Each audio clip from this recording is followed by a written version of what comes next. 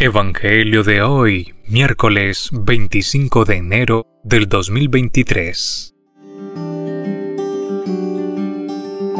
Proclamación del Santo Evangelio según San Marcos.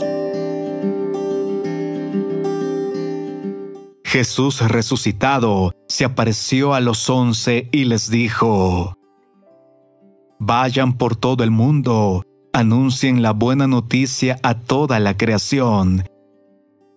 El que crea y se bautice se salvará, el que no crea se condenará.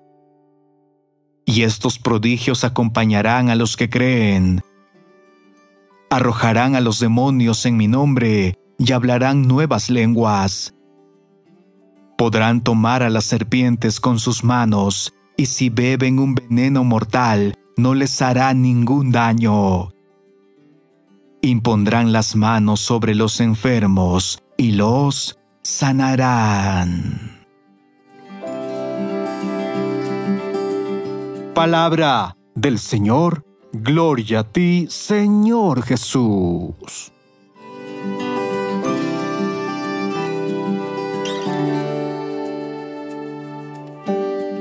Amada familia, antes de reflexionar el Santo Evangelio, hagamos mención de la fiesta que hoy como comunidad católica celebramos, la conversión de San Pablo Apóstol. Es poco usual que la Iglesia celebre la conversión de alguien en la liturgia, pero este acontecimiento desde las primeras comunidades ha sido resaltado. Esta conversión no es al estilo de algunos testimonios actuales donde se enfocan en describir lo malos que eran antes de haber conocido a Dios. El caso de Pablo es diferente. Ha sido un hombre piadoso y defensor estricto de su religión. Tal era su celo que consideraba el cristianismo como una secta peligrosa para el judaísmo y por lo tanto era necesario que fuera erradicada, siendo su estricta persecución lo que lo llevó al encuentro más glorioso que un humano ha tenido con Cristo, pues el mismo Jesús se presentó rodeado de esplendor para pedirle que lo dejara de perseguir. San Pablo sufre el cambio más radical, pues pasó de ser un perseguidor a ser uno de los más grandes apóstoles y anunciadores de Cristo. Incluso él mismo pide ser bautizado después de la aparición de Jesús en su vida. Hoy 25 de enero celebramos la conversión del hombre que sería conocido como el apóstol de los gentiles o el apóstol de las naciones. Los restos de San Pablo reposan hasta hoy en día en una de las basílicas más importantes de Roma, Italia, la Basílica de San Pablo, siendo también la segunda más grande en Roma. Ahora, querida comunidad, meditemos el Santo Evangelio resaltando los siguientes tres puntos. En este primer punto, reflexionemos sobre el mandato misionero. Vayan por todo el mundo y prediquen el Evangelio a toda criatura. Jesús ha sido muy claro, envía su mensaje a todas las naciones. No hay una lista limitada, sino que la apertura es tal que en el todos nos encontramos nosotros. Por cuántas bocas, mentes y corazones ha pasado el Evangelio hasta llegar a nosotros. Pensar en esto es profundamente hermoso, porque si nos pudiéramos ir hacia atrás en el tiempo, Haciendo este recorrido, llegaríamos a este preciso momento que narra el Evangelio. Escucharíamos el mismo mensaje, porque Jesucristo es el mismo ayer, hoy y siempre. Sus palabras no pasarán. Nuestro deber es seguir compartiendo esta buena nueva, aunque si es cierto, muchas veces nos hemos alejado de Cristo por diversas razones. A veces es por falta de fe, otras veces porque nos distraemos con otras cosas, también porque no reconocemos su presencia en nuestras vidas. Es importante reconocer estos momentos en que nos alejamos de Cristo para poder volver a Él de manera más consciente y dispuestos a seguir sus enseñanzas, llevando el Evangelio con nuestro testimonio. En este segundo momento, meditemos sobre la siguiente frase. El que crea y se bautice se salvará. El que se resista a creer será condenado. Hoy se nos regala un texto enriquecido de elementos. Si nos enfocamos en la lectura, vemos que las palabras que más nos resuenan son creer y bautizar, puesto que Jesús en su constante llamado siempre nos invita a creer, pero no solo eso, también a ser bautizados y actuar como tal. Todo el mundo puede creer, hasta el mismo demonio cree. En este pasaje se nos pide dejarlo entrar en nuestro corazón, dejar que Él sea nuestra alegría, sabernos vivos gracias a Él, gracias a su pasión y resurrección. Aceptémoslo como lo que en realidad es nuestra salvación. También nos invita a salir a proclamar su buena nueva, que luchemos contra el mal que constantemente quiere apoderarse de este mundo. También nos invita a hablar nuevas lenguas. Con esto, Jesús nos invita a no tener miedo de comunicarnos con un extraño, con alguna persona que no hable nuestro mismo idioma, puesto que todos en su nombre hablamos la misma lengua el lenguaje del amor nos invita a agarrar las serpientes en nuestra mano y no beber del veneno.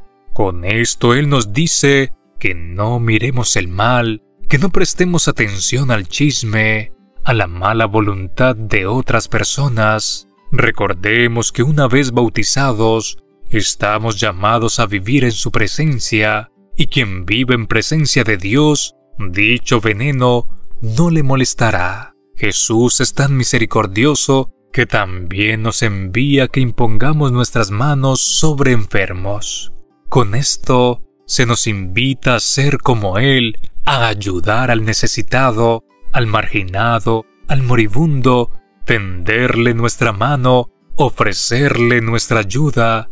Nos invita a que siempre reflejemos su rostro, su humildad, su corazón lleno de amor. En este tercer momento, meditemos en los milagros que acompañan a los enviados por Cristo. Cada uno de esos signos extraordinarios manifiesta que el don de Dios habitará en ellos de una forma total. Por eso no deben temer a nada ni a nadie, sino al contrario, se debe marchar confiados en el poder protector y sanador que Dios confiere. Hoy en día esta acción o esta práctica se sigue realizando entre el sacerdocio, pues como representantes de Cristo en el mundo, la Santa Iglesia debe defendernos de los ataques del maligno. Pero esto no es solo tarea de ellos, sino que debe ser labor de todos juntos, unidos en el amor y en Cristo,